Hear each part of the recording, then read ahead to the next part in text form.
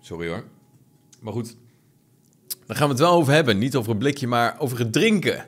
No Kimi, you will not have to drink is natuurlijk een geliefd en eigenlijk wel een beetje iconisch moment geworden voor veel Formule 1-fans.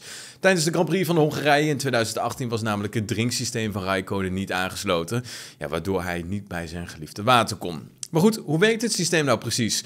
En waarom is het nou zo belangrijk om te drinken? Dat gaan we je uitleggen in deze gloednieuwe GPFan Special. We beginnen met antwoord te geven op die tweede vraag. Want een Grand Prix duurt gemiddeld ongeveer een kleine twee uur. Dus dat zou misschien wel uit te kunnen houden zijn zonder water. En soms is dit inderdaad waar, maar zeker lang niet altijd. Coureurs die dragen een vuurbestendige race overal, handschoenen, een helm. Nou goed, en dan kun je wel voorstellen dat het snel warm wordt. Helemaal met bloedhete temperaturen zoals in Bahrein. En de motor die genereert natuurlijk ook best wel wat warmte.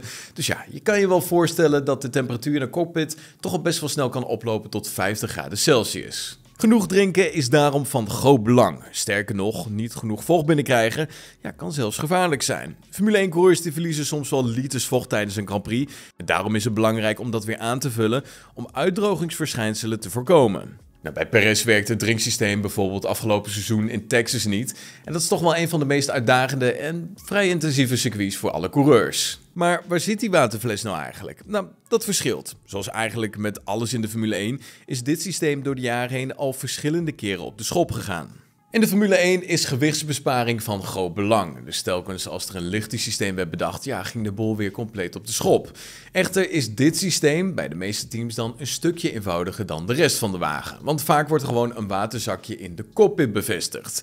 Nou, hier zit dan een pompje op en dan loopt er een slang via de helm naar de mond van de coureur. Nou, door op een knopje te drukken, zoals bij dit Ferrari replica stuurtje, uh, drinkknopje en dan uh, krijg je water binnen. Dit drinksysteem wil, net als andere onderdelen in de auto, ook wel eens niet werken. Nou, bij de wat minder intensieve races is dit niet altijd direct een probleem, maar op sommige circuits kan het wel echt een nadeel of zelfs wel gevaarlijk zijn.